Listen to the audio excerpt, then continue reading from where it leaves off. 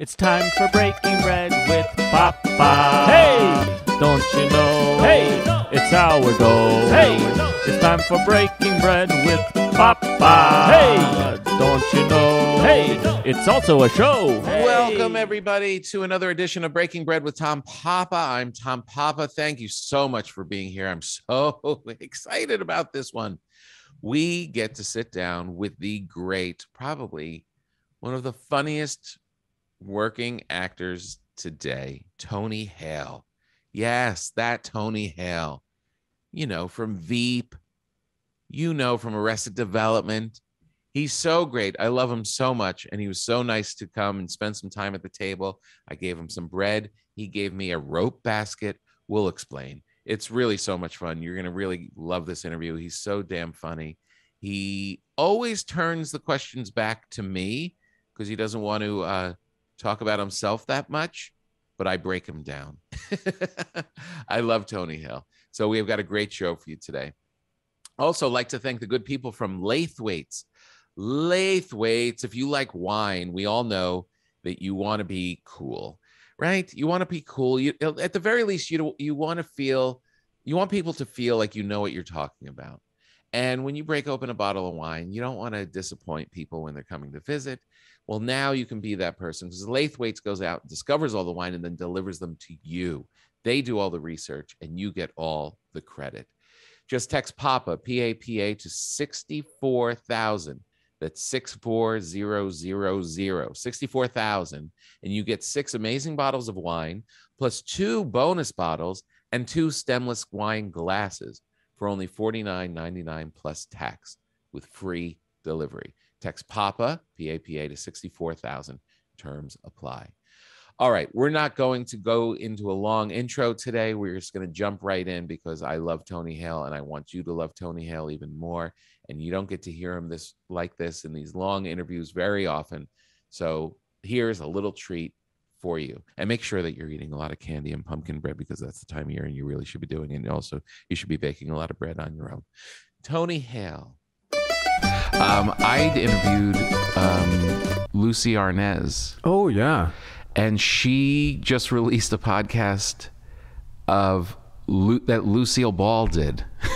Yeah. Did Wait, you hear about this? I think I heard about it. It's, it's her interviewing other celebrities, right? It's amazing. yeah. like her just hanging out with Dean Martin. What's it called? Um, Lucy's podcast. Podcast. That's right. Lucy's podcasting other celebrities. yeah. Yeah. Lucy talking to famous people. That's right. That's right. Um, She was very nice though. I met her on the um uh, I met her on the set of this Being the Ricardos movie I did. oh, She was very nice. she was. Mm-hmm. What did you play? I play a character named Jess um, Oppenheimer, who was the creator and showrunner of I Love Lucy. Oh, So so were you cutthroat? Did you yell at people? no, I was nervous, Mhm. which is a common theme for characters in my career. I've never seen that. Really? it's in every single one. A lot of hypertension. Are you at a point now where people are like, just get us a Tony Hale type? Have you seen that on on sheets? I used to see that when I did commercials a lot in New York. Like they would say like a, a Tony Hale type, and I just remember thinking, why don't you just call me? Yeah, I'm available. right. I could use the work. right, exactly. What? Why isn't my agent seeing this? What's going on? You did? Were you in? You you came from New York? I right? came from New York. Yeah. So how many years were you there? I was there for a long time, like mm, 15 years. And you, because I was there from '95 to 2003. Yeah, that was about my thing too. And I started splitting time around there. So I even stayed in New York longer. Mm-hmm. But I was out here also. Like we were going back and forth with the kids. Did and you stuff. do commercials? Very few, just a handful. Yeah, I, I remember all those casting directors, and I was terrified of them all. Commercial auditions were always so embarrassing. Hmm. Embarrassing, and it's just like you just walk into a room and you just see all these guys who look and act exactly like you. I was I was the quirky type who wasn't all there. Right. That's how I was kind of defined. right. Did you ever run where you uh, were booking a lot? Yeah, I mean, I would say towards the last two years of being there, I, I was able to because I had so many jobs when I was there. I never did stand up, so I or or improv for that matter. But I Right. I had a lot of odd jobs, and so when I started to get more commercials, I was able to lessen the. I cater waited a lot. That was like my, Oh, yeah. That was, and I actually really enjoyed cater waiting, waitering because I hated waiting tables because Mm-hmm. people were so mean when it came to food. Like It's just so so, mean, and Yeah. just so upset if they didn't get something right. And I, just, I would leave the restaurant just hating the world. Yeah. Yeah, but cater waitering, you just set up the party and you didn't really have to talk to the people Right. and then you got to eat this great food at the end of the night and then you just you got 20 bucks an hour and it was like great That is great. I'm actually doing a, a bit about that in my act now, about how we should be nicer to each other in general, and you have to stop um, being shitty to waiters. yeah It's like, do you have to understand like the chain of events that has to happen before you get your food? Yeah. And then that last person in that process, they're not the one you yell at. yeah and you also don't want to be shitty to them like that's not No. doing you any favors because i've heard stories of like what they'll do to your food yeah, You know, absolutely. they- the- eh, when that when those doors close in that kitchen you don't know what they're doing those are the last people you want to be mean to right. Yeah. I always say be, be extra nice to the busboy. oh yeah that guy's a rascal. Yeah. yeah, yeah, yeah. But I remember, I remember like we would, when I was waiting tables, I would, if somebody didn't eat like a, a steak or something, or just had like a couple bites, I'd cut off that section where their bite was, and I'd eat the rest. And I, or I'd take it home, or I'd take home all the fries they didn't eat. If they just like had a bite of the cake, I'd just cut that part off and then just package the other one, other half, and had a, had a oh, great meal at home. These are these are pre-pandemic jobs. it's so funny. We were. I was talking about that the other day when I was in New York in the beginning. I was so poor. Mm-hmm. Like I would do. I, would do the comic strip on the Upper East Side for five dollars a spot, and I lived off that money for a while. Like, Yeah. I would get that five bucks, and that's how I was going to eat the next Yeah, day. and that's before taxes. right. Yeah. Because how many like how many gigs were you doing a night? Would you say? How many places would you go? and when it like was really jamming and I can do all the clubs, like once I got past like the early days, um, I would do like six, Gosh. seven, and just run around. And you just knew all of the the uh, owners and all that stuff. Yeah, so you'd put in all your avails and then you'd map it out and you'd be like, okay, so I'm going to do all of these on that night, and you'd time it out with everybody, and then So you gave them. Do you mind me asking this? yeah, no. You gave them. I've never known this. So you you, you called. You would call an owner and you would say, "I'm availed this night," right. and then they would then give you a spot then so that you could schedule your night. They would give you for the week. So you would Oh. each club has their avails line.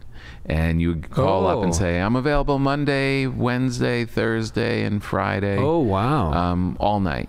And then and each one was kind of like staggered. So you would get all your spots for stand up New York on the Upper West Side. yeah. And then they the comic strip would call and say, "Here are your spots," and you'd make sure that you can you can match them all, and uh, and you just string them together. So when you accidentally, which I'm sure happened, double booked yourself, or Yeah. two, would you have to call one of them and say, "Hey, can I switch to this Yeah. spot?" And they were always cool about that. It depended. It- Yeah, yeah, yeah. There were like stand up New York would be cool about it. Comic strip would be less cool about it. The comedy cellar would say, uh, would make you feel like if you moved your spot, you'd never work there again. Or work again, probably. or work again. Yeah, yeah, they yeah. were so uh, scary. Was there just a lot of passive aggression too? Like, yeah, sure, man. If that's really what you how you're feeling, if that's what you want to do. Okay, if that's if that's okay, I'll make a Oh, note. I'll make a note. Oh, oh Lord. No, like nobody wanted to cancel on Estee. Estee was And he was where? she was uh, the comedy cellar. She books the comedy cellar t- to this day, and it's so funny because as everything settled down and I, you know, rose up, I would just go to the comedy cellar, and hmm. her and Manny, who owned it, the original owner, hmm. they were like my family. I was there every oh. single night, and they were just like Oh. lovable. I, we'd go out to eat after and stuff, and to nice. but and then to see new people show up and be like terrified of Estee, like she's still doing it, you know. Okay, if you want to cancel, you can. I'll, I'll make a note.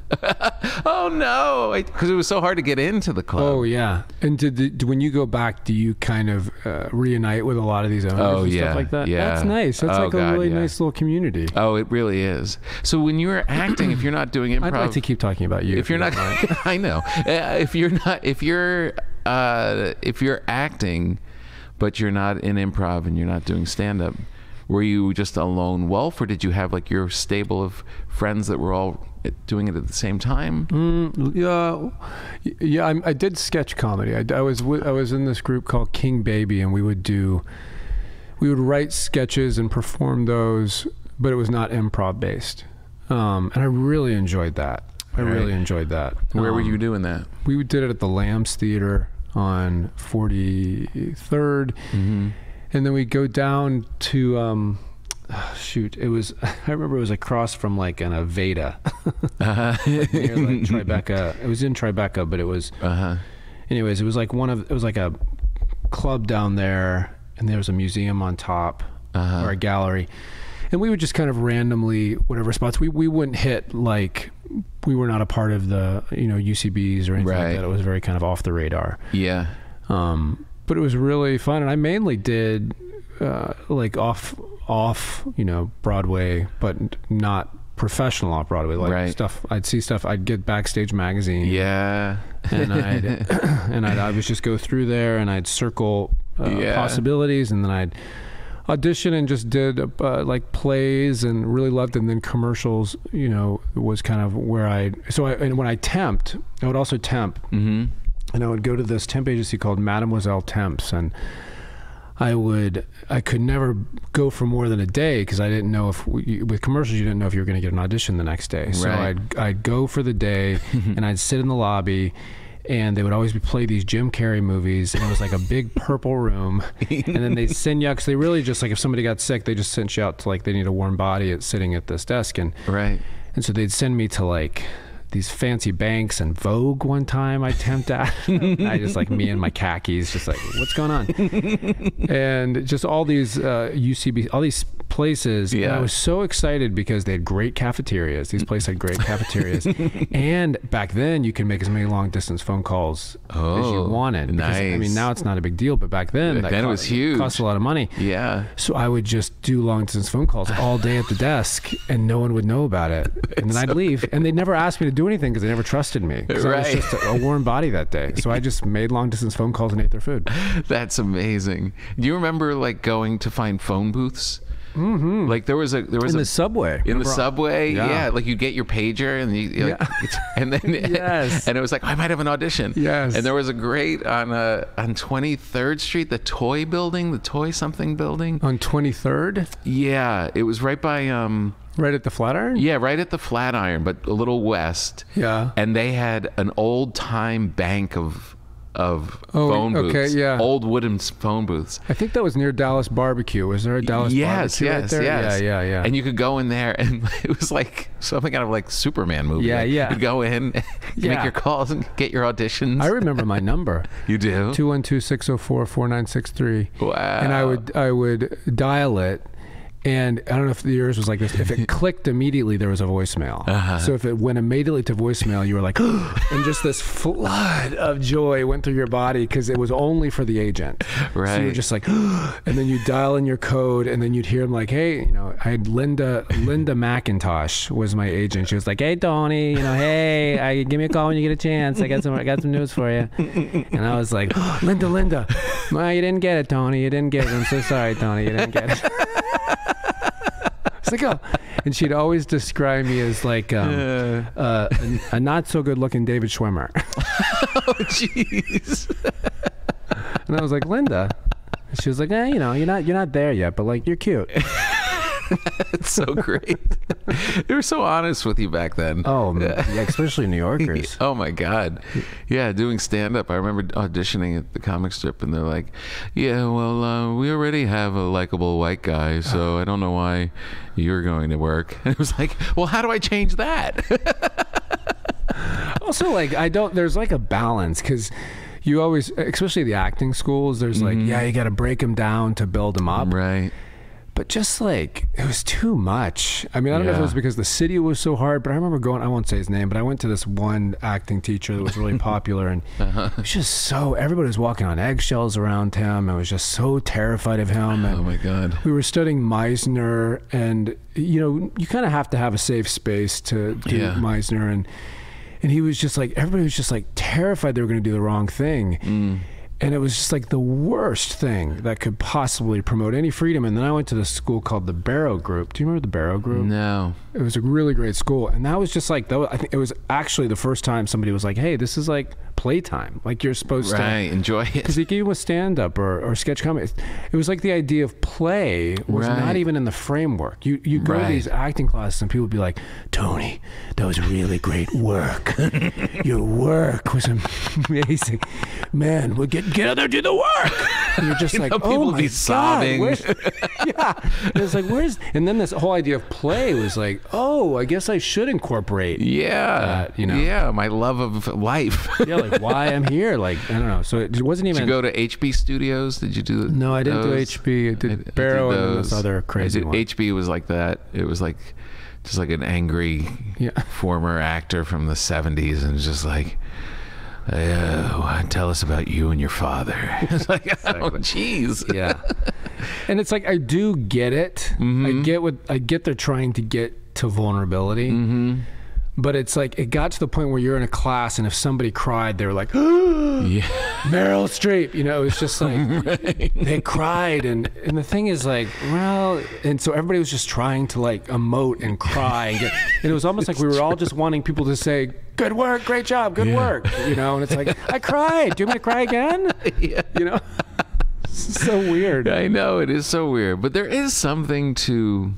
There is. I mean, well, l- let me ask you. you. You're a great actor. Thank you. You're you're so believable. Like you were one of those people that you do not see the acting. Oh, that's you just nice. see this. Oh, he is this person. Like you totally, Hmm. which is such a difficult thing. You, especially when you're in it, Hmm. you see when people are acting, but you're just Nice. the character. Which is so. How do you get there? Do you have?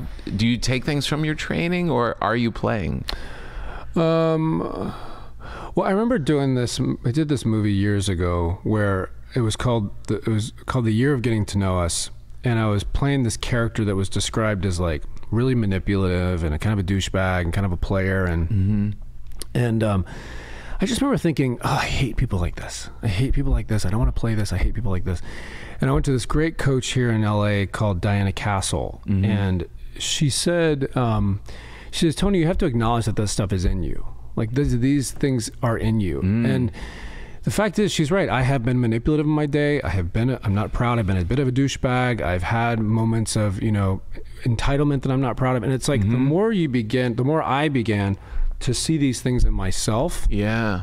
the more I felt like I wasn't necessarily playing an idea of a character. I was playing, it was coming out of me. Oh. And so, like, I think for many years, I was kind of like, if somebody said, um, play this, you know, I don't know, CEO of this company, I had this like Yeah. idea of like what he would be like rather than, okay, so the CEO has got leadership skills. He's, he's, you know, he's a, he's a motivator. He, know, he's obviously a great people person.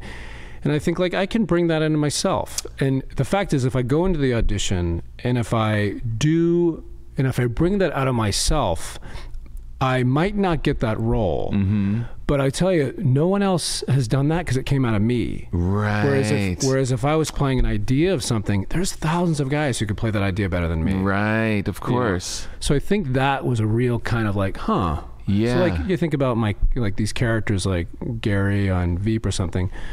You know, I'm I struggle with anxiety. I'm um, I've, I have codependency in my life. you know. right. There's you know you can kind of draw on these things. Yeah. And even if like you are playing someone really evil, you can find, you know, like in this Benedict Society show I do.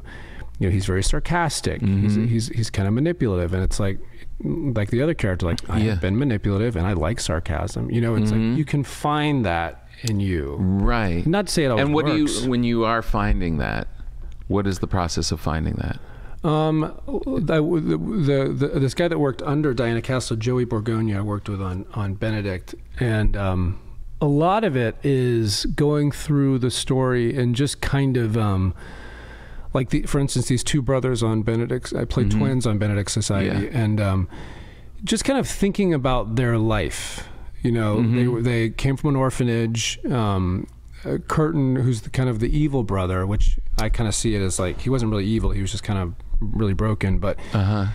he his brother Benedict was adopted and he wasn't. Uh-huh. And so I mean that really like caused a tremendous amount of resentment. And Right. typically with resentment what happens is a tremendous amount of you know anger and Mhm. and, and and fault finding and victim vic, making yourself the victim and Mhm.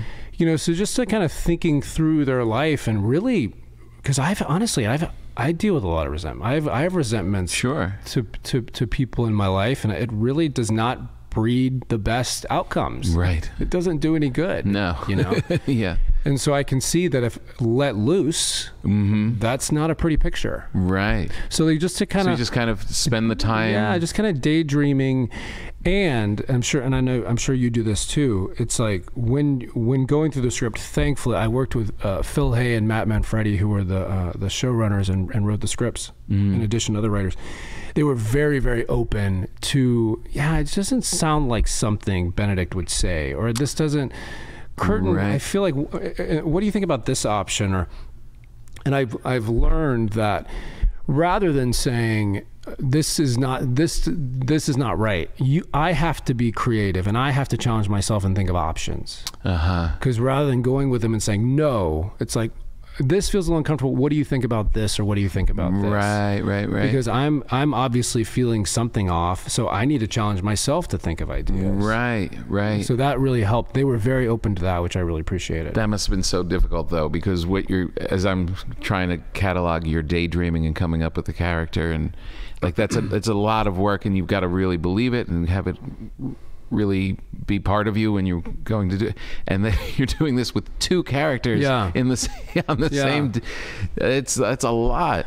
It was a lot, but it's like I, am so I'm so grateful. I mean, like you, it's just like we're so, I'm so grateful to have gigs. you know? Right. You're just like, man, I'm so grateful. And it came at a time where I was we shot it in Vancouver and um and I because of the pandemic, uh, I couldn't come back for I couldn't back home for five and a half months. Right. I remember you told me that. So like I was I was just in this and I couldn't really hang out with anybody. Right. And so I was just in my apartment God. and just really it's all I could think about. So I'd Yeah. come home and I'd go through the script and I'd, I'd and the Phil and Matt were in LA and we'd uh, Zoom and have like wine together and, Right. and just talk and I was able to just really kind of dive in. Wow, So that's I'm great. It's like a nice little like Yeah. acting summer camp in a It way. It kind of was. I really kind of was. Veep was kind of the same way because I remember Veep, we shot in Baltimore, and all those first three years, and everybody was, uh, uh, their families were all back home, so we kind of became each other's families, and yeah. we do the gig, and then or we do that, we shoot, and then we go out for a drink and just talk about the day, and it was Oh, like, that's great. It was it was nice to kind of get that foundation, you know. yeah. So- so oh nice. man, that makes so much sense though, because I'm sure you've been in things where people aren't really hanging, and you kind of clock in and do it, and it's like, yeah, well, of course that doesn't all gel. yeah and I, I mean i've always like your guys community of with stand up it's i'm sure when you do gigs that it's you all go out and just hang out which is to me a huge part of the joy of it of just, Huge. of just being able to be like can you believe that guy and Right. this person did this and she said that and Yeah. just to kind of congregate and you know go back and forth and you almost have to. It's uh, like uh, we, we tell each other the same stories over and over and over again Yeah. about like how you're doing your work and who these people are and like Yeah. how we're going and you you have to be told it's like you have to refresh all the time you have Yeah. to constantly it's like the stones like rehearsing satisfaction have you ever heard that Oh, no. like they still when they were i mean i don't know what's happening right at this moment but still like in their most current tours they would still rehearse satisfaction really Yes, and why is that because you we have to remind ourselves Oh, we're meaning 'cause they might- never yeah, yeah, we're yeah. never we never retain everything. We're constantly changing, constantly evaluating. Yeah. And I feel like that's what the community kind of gives you is like Oh. when I oh. can roll into the comedy cellar and just sit there and listen to people. It's like we're very no one we I can't share this with anyone else but these people. They're the only ones that have this perspective. yeah do you guys do bits to each other No, pretty rarely. I mean, with some Yeah. close ones, you might say, "Is this you know is this anything?" Or Yeah. um, and some some comics like really love to talk about it. Like I would talk to uh, like Seinfeld when I started working Yeah, with him yeah, on the road and stuff. He loves to like if you just tell him. If you tell him I've got this bit about uh, Pellegrino, and I'm thinking about, you know, every time I hold the bottle, I'm more arrogant, arrogant than I, Yeah, yeah. and he'll be like, he'll jump on it. He's just like, he, that's all he wants to talk about. yeah, and other people are just like a little repellent to it. Yeah, yeah. But just having that, having that community is. But then you like you go through these these parts in your career when you have a family yeah. and you Yeah. it's like you're not hanging out as often as Yeah, you did yeah, yeah, unless you're forced unless you're trapped during a pandemic in Vancouver. Yeah, yeah. Do you still? Is it kind of that that you kind of just do weekends, or you? How does that yeah, work? Yeah, yeah, and then come home, and then go back out, that kind of a thing. And that you're pretty much alone. That you're, it's you in the opening act. You know, when you're headlining around the country, Yeah. you're not like once in a while you'll be in a, in town with someone else you know and go out after, but it's it's pretty much and it's exhausting. So. That's like exhausting. you're doing two hours of talking a night, and then yeah. I just want to go to the hotel and just yeah, lay yeah, there. Yeah. yeah, and it would. I would think it would be hard to detox from something like that. Or is it not? Because I, I I always associate it with. Um, I mean, it's obviously maybe not hyper as emotional, but Yeah. there's the stories of I mean, it was Al Pacino or somebody doing this really intense play in New York, and it would end at ten, and they just Yeah. they went to the bar and they just couldn't detox from it. Yeah. You know, and I feel like all that energy, Yeah. like how you kind of come off that. you I've heard that, but if you were to put a mattress at the side of the stage, I could say goodnight, wave to everybody, and crawl in and be asleep before everyone's left the room. Are you a morning person? Uh, more so, I've, I've changed into it because of children. Yeah, I am. Yeah. I love morning. You I- do? yeah, I would probably be like that. I'm not after 10, I just begin to start to dwindle. Well, here's the thing. I get that way too. And the second show starts at 9:30 and the opening act is on for 20 minutes. So you're you're going up there at 10. Yeah. and I always think that like the show is just me. This is the entire there's no band, there's no nothing. Ooh. And I'm really we want to go to bed now. do you also have moments where you're because I, I again I do not do stand up and I have huge admiration for what you guys do, but I do have moments being on talk shows where I'm Yeah. I'm sitting on the couch and like Conan or whomever is there and yeah. and all of a sudden my body just leaves my body and starts watching my body. Yeah. And just being like, shut up. Just like you're talking too much. Just shut your face, Hale. Just shut. Your story is too long. Shut it. You know, and I can't. And then I'm, I'm and it's like you just watch it, and then I'm not in my body, and it's just. It is weird. Do you have those dis- like yeah, that? those disconnected moments where you I'll be on stage sometimes and I'm telling there's jokes coming out of my mouth. Yeah. And then the other part of you is doing that is commenting or like what's after this do we know what's after this Yeah. just keep going let's see if we Yeah. have it Yeah. oh it was that oh Or is it the kind of thing where you're reading a page and then you forget what you just read? yeah similar You know, just because you've said that story so much. Similar, yeah. I mean, but that, you know, but those are moments you don't want to be in those moments. You want to be like Oh yeah. connected. So Yeah, you have to, yeah, yeah. you're always kind of like trying to get back onto the. Is the, the, 10 o'clock audience, uh, is, is there a different vibe or are those like night people? They're more night people. Okay. They're a little younger. They're Oh, okay. Yeah, Okay, yeah, yeah, yeah, yeah. That yeah, it's different, and it depends on where it is, like in the city. And if I'm doing things at the comedy store, it's they're kind of all the same. Yeah, But if. I'm in Indiana, uh, that those people coming out at ten are they're the wild ones. Yeah. yeah, they're ready. yeah, yeah. It's uh, it is fun though. I, but so, but when I was saying like when you have the family and all that stuff, it's like Yeah. all that extra time is spent with them. You know. Yeah, and you come and I'm sure like you come home and it then you it's, you step into to family mode, Yeah, you know. yeah. How do you do it when you have a a, a new, new part that you're working on or trying to get, and you've got the family around? Do they know Dad needs to w- go into his daydream mode and lock Daddy's away? an angry face. uh, uh, Are you? I always find that difficult, like to yeah. isolate from while in the home. Yeah. Um, sh- yes. I mean, it, it, that's a bit challenging. I'm trying to think. I haven't. I don't know. Like when it comes to when it comes to really um, fleshing it out. Yeah. Like if I was to do a real uh, angry something, or if I haven't had to do really really heavy intense things, but a couple. Yeah. I kind of get, I kind of, I go through it in my head and I'm kind of thinking about it. I might get a quiet space go, but it's when I get on set that I begin to really, Uh-huh. or like in the, the dressing room or something, right. really begin to flush it out. Oh, yeah. Because it feels, it feels like the safest space there. Because Right. not so much my family, but I think like if I'm screaming and the neighbors are wondering, you know, it's like, Your dog's looking at you. Yeah. It's all weird. what's wrong with daddy? And, yeah. and so it's like when I get to this, when I get to the space, that's the time that I'll like really begin to flush it out. Right. Right. Well, you're so talented. Oh. I uh It comes from so much pain. that those. Do you ever see the Phil Hartman acting coach? No. Oh my God! Is Look it up on on S- YouTube. is that on SNL? On SNL. Oh wow, I'm, yeah. I'm sure you'll find it on somewhere. But Phil Hartman playing an acting Hmm. coach in New York, and he just the way his like arrogance, and he's saying he's so he's so confident about what he's saying, and he's saying nothing. Yeah. And he's breaking these people down, and he just like hates one of them.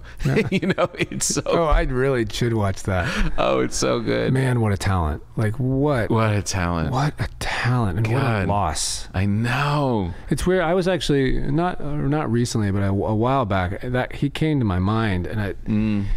just that I just remember. I don't remember where I was actually, but I, I remember thinking like, what? Like, Yeah. not only did he pass, but just the circumstances of it was just like wild, Insane. insane. Insane. At the time, I was like, what? Yeah, how does that happen? how does that happen? And then, like everything else, you got to move on, but you have these moments of like, wait a second, that did happen. yeah, I know. Such a weird one. He was such a bright light. He really was. And he didn't join SNL until later. He was like, really, yeah, he was like, he, he didn't come in as a, he was at the time, I think he was the oldest cast member. really. Yeah. You know, my wife was a makeup artist on SNL. Oh, really?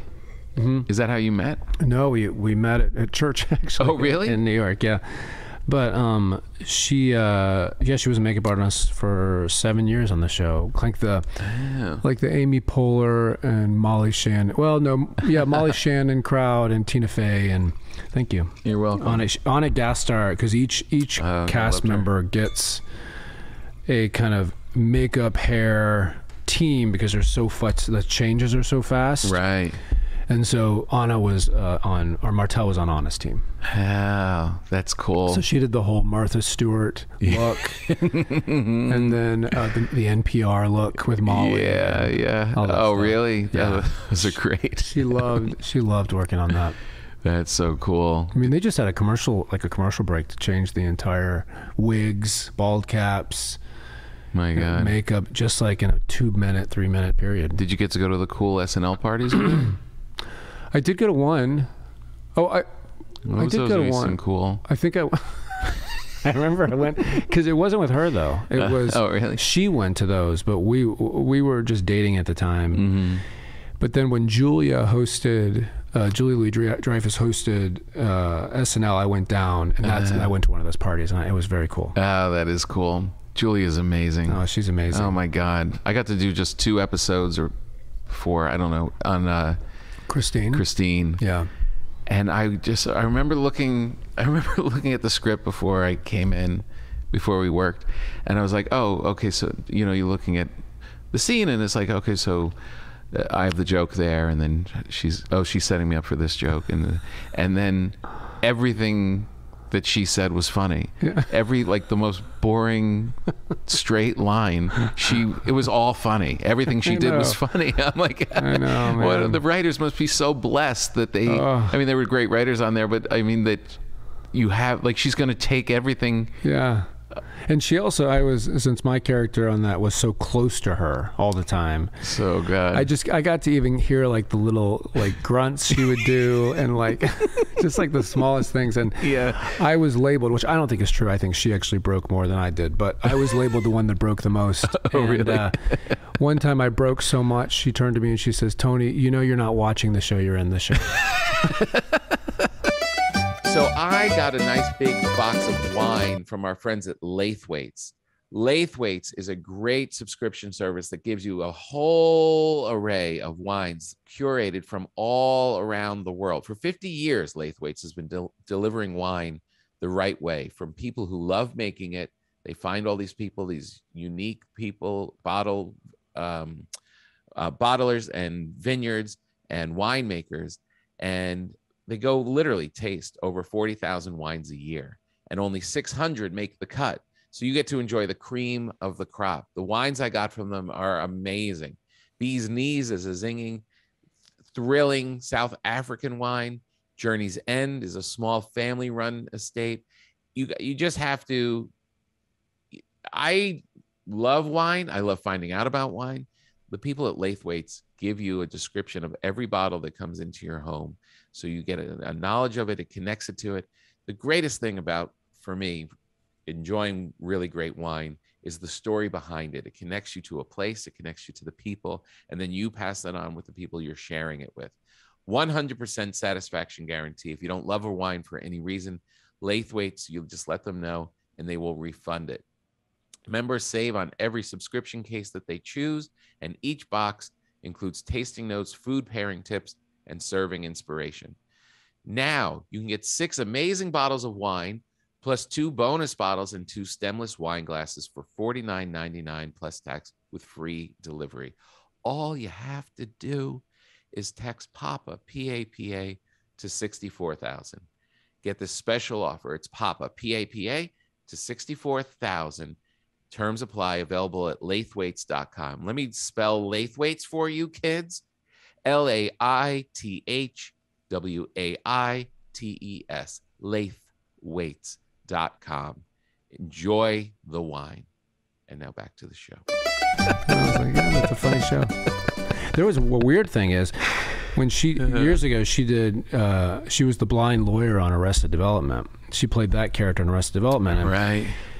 and we both individually got the question: Did we do a scene together on Arrested Development? Uh-huh. And both of us separately said no, we were never in a scene together. uh, and no, we, so we just weren't. This is Veep's the first time we worked together. Yeah. And then somebody sent us a screenshot of a scene that we were both in at a desk talking to each other for an extended amount of time. And we just both blank, bl- completely blocked it out. That's hilarious. Just made no impact on each other's lives. The rhythm you had was so great. Oh, man. Oh, was- my that was, god. That was a real gift because god. I mean, you know, when you when you work with somebody that you feel like that that that rhythm is is is safe and established, and you feel like when you throw the ball, they're going to throw it back. Yeah. Man, it was just like I feel like it was just we were doing like a dance. Like there was one scene where she was getting ready for some party and and uh, I was zip I was zipping up her dress and I was putting her bracelet on and I was putting her shoes on and I was putting her necklace on all during this like bit Yeah. and we just there was just we found that rhythm and it was just like riding this kind of comic wave together Right. you know and I- I, Yeah. could have done that Yeah. a hundred times, which actually really, when I said that about um, uh, satisfaction, them rehearsing that song, it's Yeah. like, since I'm not a musician, I'm like, that seems odd. But like, I would do that scene. Right. I mean, if I was given the chance, I would do that every Right. opportunity I could because I just love that scene so much. Yeah. You know? Oh man, the move uh, of of you doing you you I'll just in my crude way sum it up.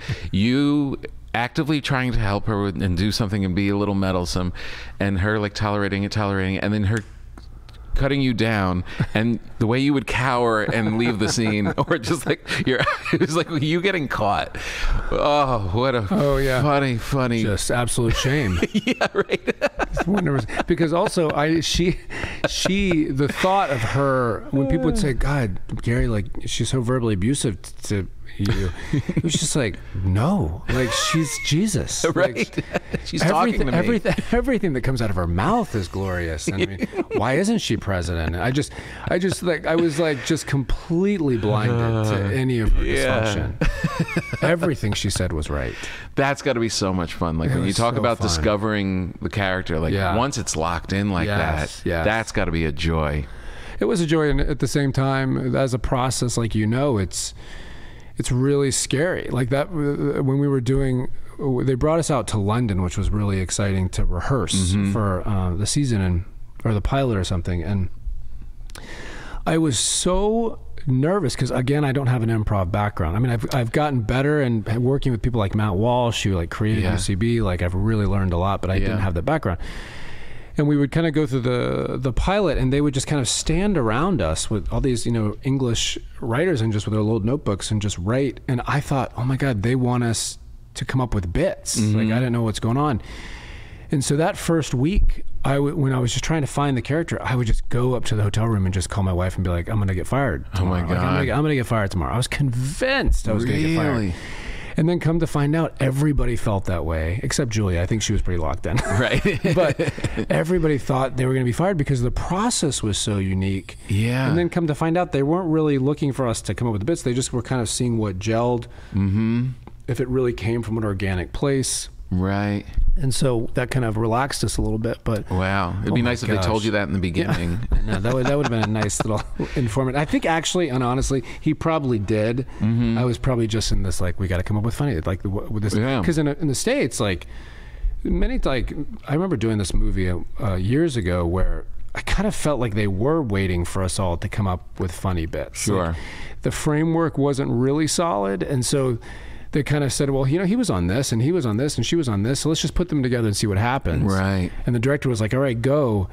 and it was just this like I felt like all of a sudden nobody's captaining the ship, Mm-hmm. and you're looking for me to bring the funny. I don't have any framework. What the hell? It was so nerve wracking, and so I Yeah. think I associated those Wow, two things. right, know? right, right. he- that was not at all Armando from Veep, but man, that was the other one was a really scary experience. Ma'am. I want to thank you for the um, for the rope bowl that you made me. Oh, you're welcome. Um, I loved I love doing that. it's so good. Why, why did you? You have, don't have you, to like it so much. It's so great. No, because look, Which, by the way, did you tell the story that I accidentally put? I put TPP on there instead of No. your, yeah. I put your your initials are TD TD TGP. TGP, and we were doing our talk over Zoom, right. and I heard TPP, and I put the monogram as TPP on the bowl, and it's TGP. So sorry. I I had no problem with it. My wife, I um, so Tony makes these rope bowls, which are great. As a bread baker, this is my hobby. I, I bake bread, and uh, I baked you bread. That's very and nice. Baskets are always bowls, that kind of thing, are Yeah. always in my kitchen. So to have that one is great, and Oh, that it good. and that the initials are off, slightly off makes me like it even more. There's um, there's paint on that, so careful with the bread. Oh, there is. because I paint, I you know, like that gold. There's some gold in there, I think, Uh-huh. and I that rope is painted gold. It's acrylic paint. Oh. So maybe I should tell people that before I give it to them. Probably. How did you get into making these bowls? Well, when I was doing uh, Benedict, this sweet girl named Shauna, or sweet woman named Shauna, she, as a wrap gift, she gave me a rope bowl, and I was just like.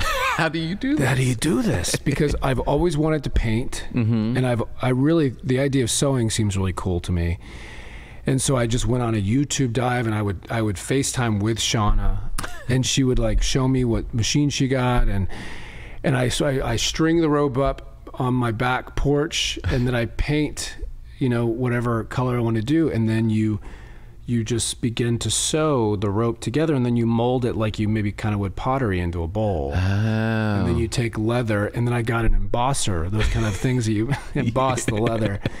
And uh, and then i sew the leather on the rope. Yeah. and i just like it's the best thing. It's i so did go through a huge with like anything you might have done it with bread where it's like Yeah. who wants bread? Who wants a bowl? Like this is the most exciting thing ever. And now it's kind of dwindled off. Like I, It has. yeah i need to i need to get back to it yeah Yeah, no, I know exactly what you are. I mean, look at the podcast.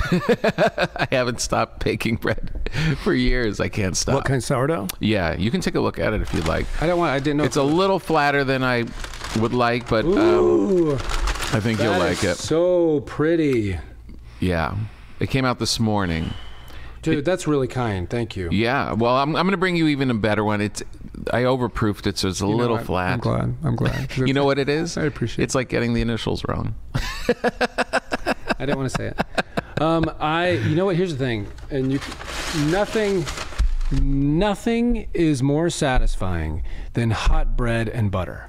The best. It's, The best. it is the best. Like when you Yeah. when there is a hot bread platter in front of you and there's and you put some like kosher salt on top of that butter and that butter is uh. kind of soft. Yeah. It is there is literally nothing better.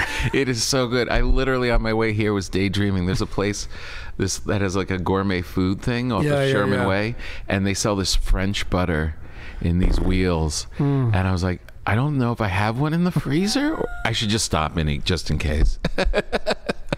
It's so great. and then so like great. for the sweet, you just take the same bread and put some Nutella on it. Oh, Nutella! I've never put Nutella on this. So good.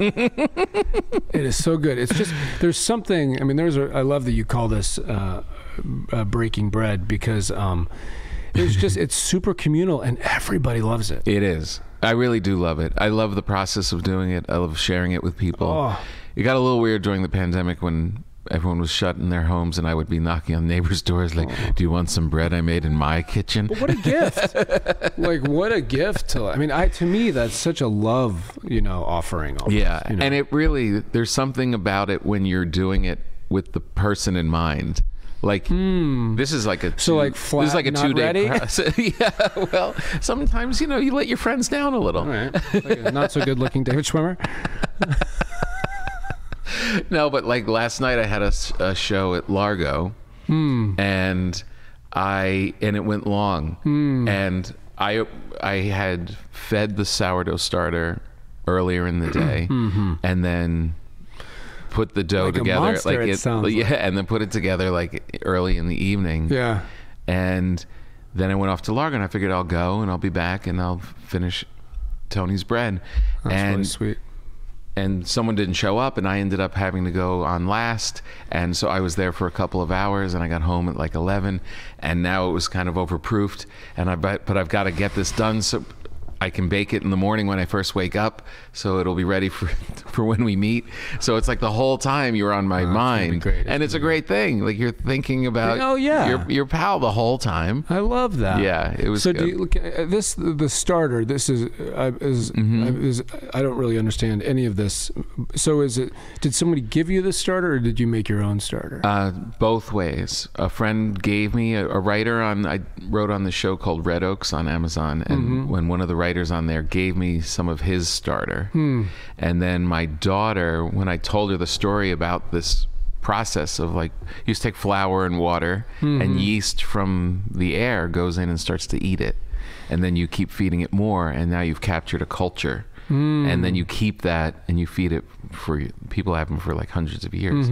And uh and that starter uh so i had the one that was sent from my friend and then the one that my daughter started and the one that my daughter started is actually the very active really strong one hmm. that's that one yeah and so, is it something you just take a, a piece of it and put it? Yeah. So if you're uh-huh. gonna make, if you're gonna, if I when I was baking this bread, I took a tablespoon of it, put it in a bowl, Uh-huh. and fed it some. It's just sitting in a mason jar in, the, uh-huh. in the in the refrigerator. Uh-huh. And then when it's time to bake, I take it, put it in there, add some flour and water to it, and it starts to eat the. It's, it's, it's being fed. So That it, it is yeah. wild. And then you do that two or three times, and now it gets really active. It's really hungry. It's really eating it, and it's getting really bubbly, and it becomes this bubbly thing, and that's your yeast. So the only other thing in the bread is flour, water, and salt, and then that yeast. So it's kind of there's like a chemistry. It's kind of an exciting experiment each time. Yeah, it kind of is. It is. And then you manipulate it with the different flours and the amount of time, Yeah. and you start to manipulate the flavors and stuff. So when you one more question about this, when you are making since you're you know so much about it, Mm. what constitutes a bad sourdough when you taste it? Uh, when you taste, sometimes it could be too sour. Sometimes you know it could be. It could be. Uh, I don't really, you know, like a San Francisco sourdough that uh, got became mm-hmm. famous for that. It um it was very sour, but I like it a little more earthy. Huh. Like this is a country blend, so this has a little bit of rye, a little bit of hmm. whole wheat, and all-purpose. So hmm. it'll have a little bit of a nuttier, mm-hmm. earthier taste to it. And I take it back about the Nutella. I think butter and jam, really good jam Mm-hmm. with bread, is like That's a good one. it's a really good one. Yeah. Uh, uh, you know the classic avocado toast. What, here's a weird one that I really love is I like to take it and put um, cream cheese Mm-hmm. and sardines Hmm. and capers. Ooh. I went from. it's very complicated. I do love caper. I love capers. I love capers too. What did you eat when you were a child? Who was the cook in your house? Um, my mom cooked for us. Was she a good cook? Uh huh. I think so. I don't really. Re- I don't. I don't know about you, but I have a very hard time remembering. um, my but my sister, my brother, and I were talking about this recently, and there was a lot of casseroles with chicken, mushroom soup. Uh huh.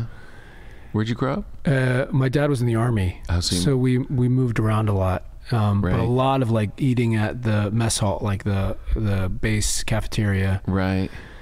and um, but back then it was you know whatever you whatever was made you eat like there was no Right. there was no debating i don't want that and I know. you know i don't really like this and it's like if you don't like it you just don't eat like if there's liver in front of you you got to eat the liver You just had to eat it. No one said, "What do you want tonight?" No it's like a short order cook no and i mean i my daughter is amazing but this it's it is very like you know what do we have you know Yeah. um, what, a little piece of this, a little piece of that. Like, what do you think about this? And it's like, my God, it became, a cheesecake factory overnight. and then you ask them sometimes, uh, "What do you want to eat tonight?" And they're like, "Well, I want this Vietnamese food." And it's like, "Well, I don't know how to make that." Yeah, so I guess we're ordering in. Oh, okay. All right, sure, let's go into your account. yeah, it's so funny. My mother would, would always point that out when she would come stay with us. She'd Oh, like, yeah. we never asked you kids what you wanted. No. And actually, because of that standard, Yeah. that foundation, the kids never even thought about asking for something else. No. Like, it never crossed my mind that I would be like, can we have something else? I'd be like, can I be hit? No, they wouldn't hit me. But yeah, you didn't have input in any part of your life. no, not at all. What you wear, like No. there was what you wore, what you ate. There was just you just did as you were yeah. told. But there was there was definitely a set family meal. Yeah, that's good. But it was just like whatever was there. That's that's what you ate. right, yeah. Did you guys? Were you really? I was really into malls when I was a kid. Oh, I yeah? Really, really loved going to the mall, and that was like a big like the food court oh, and food court. all that kind of stuff. What was your favorite stop in the food court?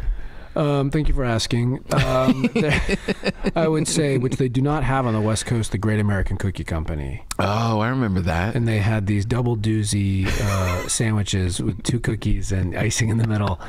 And it's just like it's such a joy. Double it's such a joy, and it's just so sugary, but it's so great. yeah. And I just actually did recently did this essay for a friend of mine talking about chain restaurants. Oh, yeah. they get a real bad rap, Uh-huh.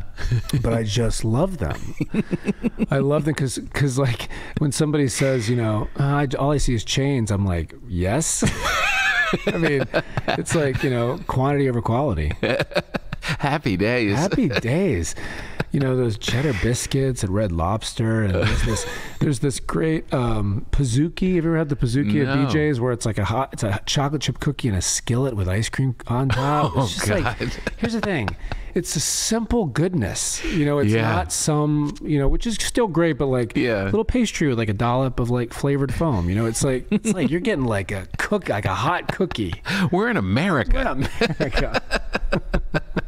I love the uh, Nathan's Nathan's Oh, yeah. hot dogs in Yeah, the mall. yeah. That was good. Those fries, they would come with a little stabby stick. Yeah. Oh, those are good. And also, you know what you're getting.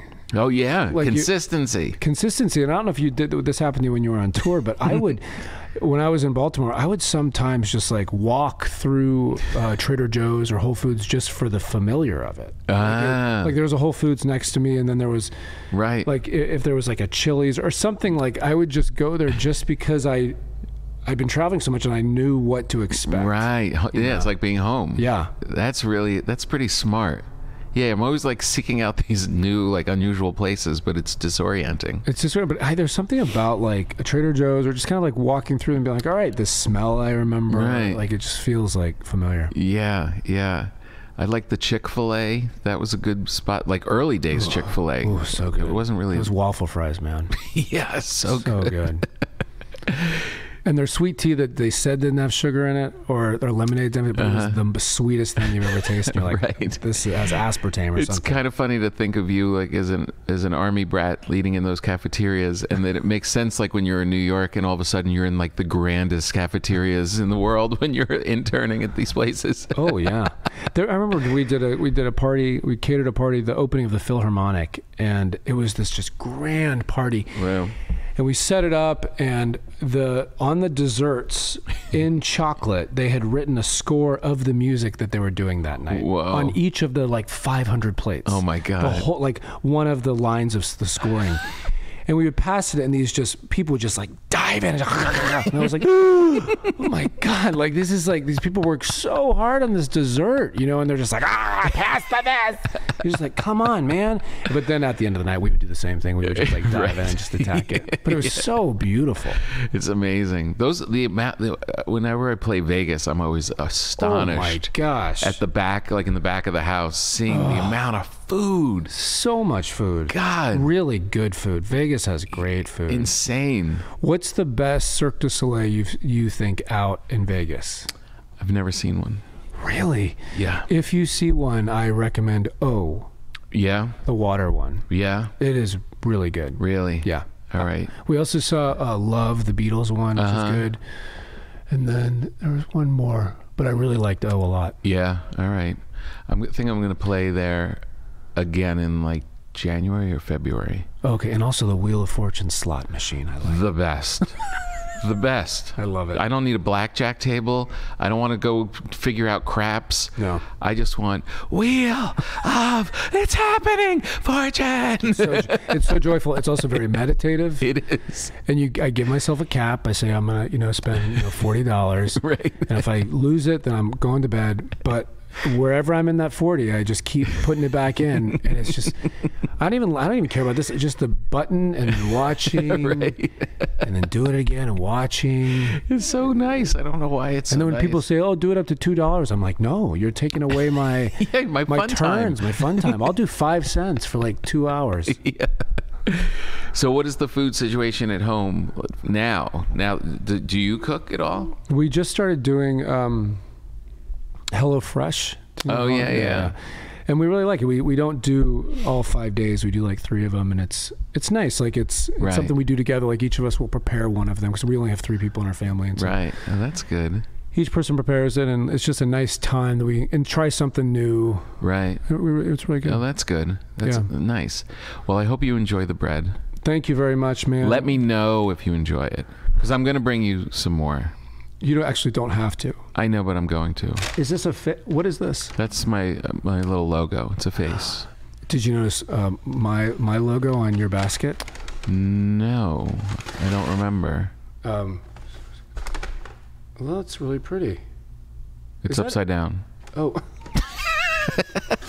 I, was like, I thought it looked like a fish. no, it's a I was thinking face. like the fish and loaves. you know, I'm starting to think that maybe no one oh, it's sees a it. face. Yeah. Oh, I do see the face. Yeah. Oh, nice. It's like winking. Y- Yeah. Is it winking? He's a little sleepy. No. I saw that as like I thought that was a fish with two loaves, like the Bible story. Oh, that's funny. well, thank you so much for doing this. This is really great. I mean, this is Oh, why I do the podcast to sit with I people that I and get to spend some time with them is really so nice. fun. Thanks for asking me, man. Do you want a piece of cheese? Um, It's uh, smoked yeah. Gouda. smoked Gouda. Yeah. I just had a white, a goat cheese Gouda from Trader Joe's. That was pretty good. Oh, really? You really love the Trader Joe's. That's what I love Trader Joe's. I do. do you get any of the prepared sandwiches at Trader Joe's, like the wraps No. or any of that? No. No, that's beyond my. That's beyond me. I like. I like they have these little dark chocolate mints with honey in them, Mm. and they have those great sausages like um, uh, chickens, chicken apple sausage, and all this kind of stuff. Ooh, nice. This is a salami with uh, truffle. Oh, really? Where'd you, where'd you, where'd you, Yeah. where'd you get that? There's an Italian market in uh, Don't Burbank. care. It's not Whole Foods. Not, not Trader Joe's. oh, it's an Italian market in Burbank. There's no Hawaiian tiki signs around it. Not familiar. Don't care. it's pretty good though, right? Really good. Yeah. I can totally taste the truffle. Yeah. Yeah, it's good. It's uh, an Italian market in Burbank. Who else is going to be on this podcast with you? Um, we've had a lot of great people. Uh, no one else today. Do you sometimes do two in a day? Uh, yeah. Is that kind of exhausting? Um, sometimes it's you know I was actually not like. I really look forward to them. Like I look forward to like spending time with people, and it's I really you know, and I do that radio show with Fortune, and that's two hours in the morning, and then buzz over here when I have people that I can do it with. Um, Do you know what? Like, I'm always I- talking. I, I would. I, I love that you got to that space because, as a guest, you kind of come in like almost in a performance, a little bit of a performance mindset. Sure. Where it's like you know you want to give you want to give a good uh, episode for you, and it's just this kind of like what story's going to tell. But being on the other side, I think you can kind of get to a relaxed place where you really do want to just hang out, yeah. and that's I bet a really nice space to be in. Yeah, it's a it's you know you. I'm conscious of that too. It's like I you want it to be fun and you want it Sure. to keep moving and and but it's so interesting because like if I we run into each other at a party or whatever, we'll just you know have fun and talk Right. about whatever. But even people I've known for years, you never sit and say, "So how did you feel when you're trying to develop a character?" Like that's Yeah, yeah, you never yeah. get to do that. Right. So in this space, you do. Right. So it's uh, without it being like really super performative, it's like it's still interesting. You Yeah, know? and I love, I love going deep. Yeah. I so I so I would think if I did, I would have to really watch because Mm-hmm. there's a part of me that wants to like get to trauma. And it's like, where is this coming from? And, yeah. huh? and because you know we're we're comic actors, and Right. and it's like, man, where is? But but then you have to watch boundaries. Like I don't want to ask something that somebody doesn't want to talk about. and- Yeah, and I always, I don't know if you have this moment where with interviewers, I have it a lot with fans at shows. Like someone will ask me a question, and I'll start going talking about it, and then I'll go like a little further than they expect. You know, like mm-hmm. I'll be like, yeah, but I was just feeling like a little. I don't know. I was just kind of disconnected, and I was just kind of dreaming. And they kind of look at you like, "Okay, that was fun," and they walk away. it's like, No. no, no, we don't, we don't come with- to you for that. We Right. Mm-hmm. come to you for the funny stuff, and then you start talking about something deeper. I don't know, but in this space, in this space, I feel like you can, Mm-hmm. you can go a little deeper if you, if it leads that way. Yeah, and which is, I think, needed. So Tony, thank you so much. Thank you for having me. You're the best. I appreciate it. When I bring bread, do you think you'll give me a different bowl? One that is not painted on. Yes, Thank you. I apologize about that. It's all right. I'm now second guessing my comment that I made. That's it, everybody. How great was Tony? I told you he was going to be great. Go back. You know what? Just go to the beginning and listen to it again. I know. It was that enjoyable. Thank you so much, Tony Hale. You're the best. Thank all of you for listening, and thanks our good friends at Lake. We'll see you next time.